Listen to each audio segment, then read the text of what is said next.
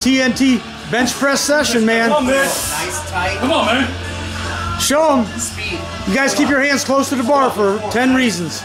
Let's go. Hold it, squeeze and oh, push. Tight. Back to Aaron. Try. Look at that.